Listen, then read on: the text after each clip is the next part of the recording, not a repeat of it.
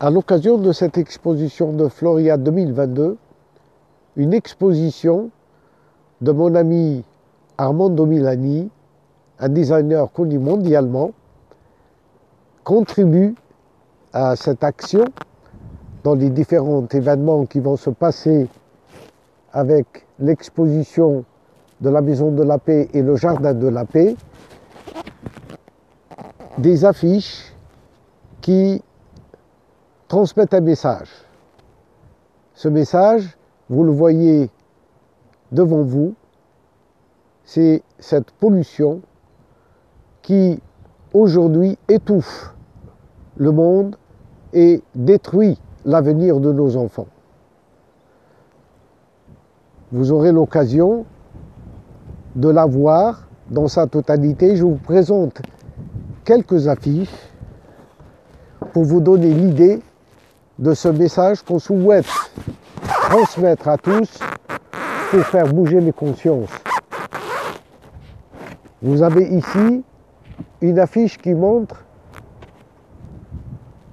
que la fragilité de notre monde, la fragilité de notre vie, notre vie est éphémère. C'est comme une allumette qui, une fois allumée, se consume en quelques minutes. Et c'est la vie d'un être. Alors, essayons d'agir pour faire de notre vie une vie utile à soi et utile aux autres.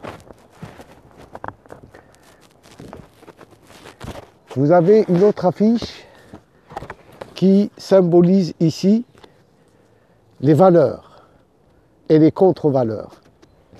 Que chacun de nous puisse, dans ce dédale et cette confusion, trouver du sens et retrouver les véritables valeurs qui sont le symbole de cette verticalité en nous, de ce qu'il y a de meilleur chez l'homme. D'autres affiches sur la vérité. Quelle vérité? Nous voulons défendre La vérité, la nôtre ou celle d'autrui Chacun n'a qu'une partie de la vérité. Et que le juste milieu, c'est là où se rencontrent toutes les vérités et toutes les valeurs communes partagées par le plus grand nombre d'êtres humains sur Terre. Et puis, je finirai par cette affiche qui me semble tout indiquer à vous parler de ce pouvoir, le pouvoir qui fait que notre monde est souvent remis en question et qui est un défi pour tous. Le pouvoir qui pour certains détermine leur démarche dans ce monde.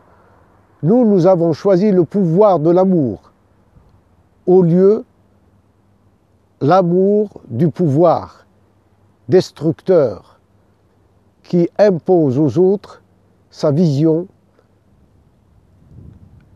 alors que le pouvoir de l'amour transcende chacun de nous et l'amène à agir parce qu'il a de meilleur à offrir aux autres.